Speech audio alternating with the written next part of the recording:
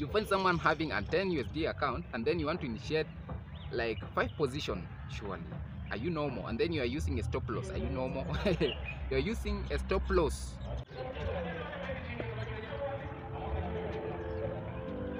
This is your guy Ziki a trader. Yeah it's been a while it's been a while I've been uploading videos. You know guys you can recommend something. This is my new hairstyle you know.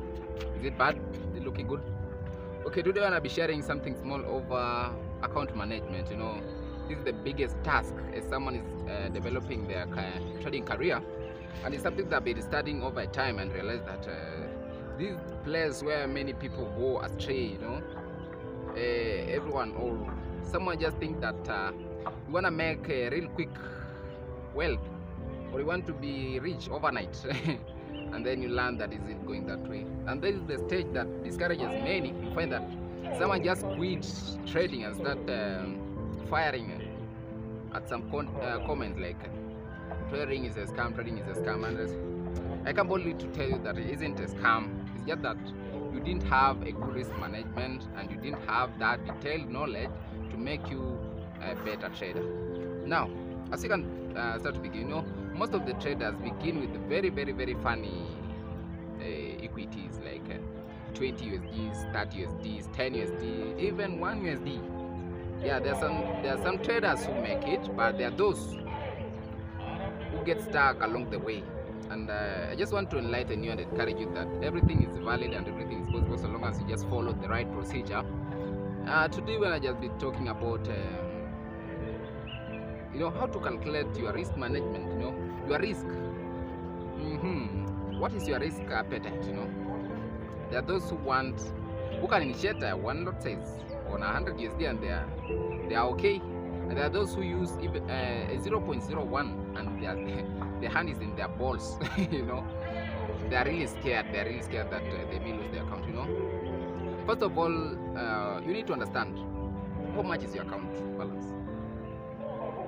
And the basic thing you need to understand how is your um, your cash flow you know.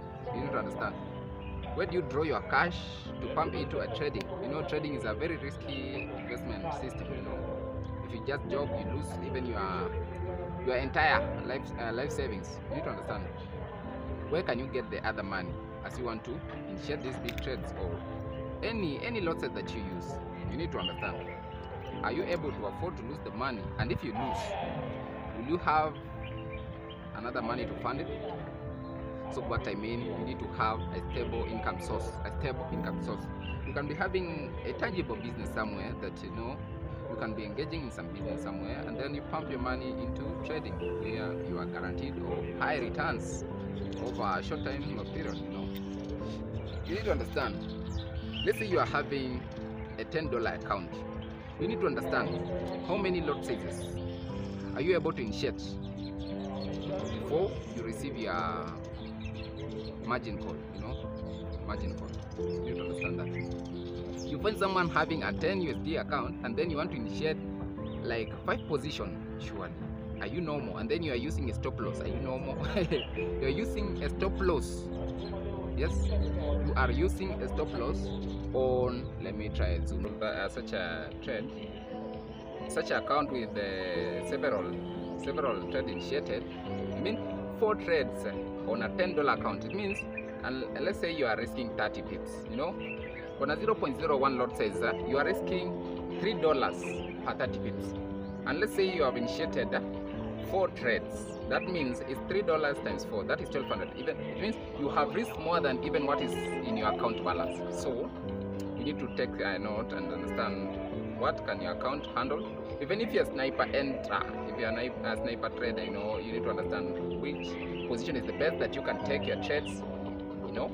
So there's so much that I'll be sharing on this account to see that uh, we move forward and make better trades as the time goes by. We'll work together I'll be uploading some few videos. In, in the next time. Good time good time good time. Make your comments and then we get to, to reach out to each other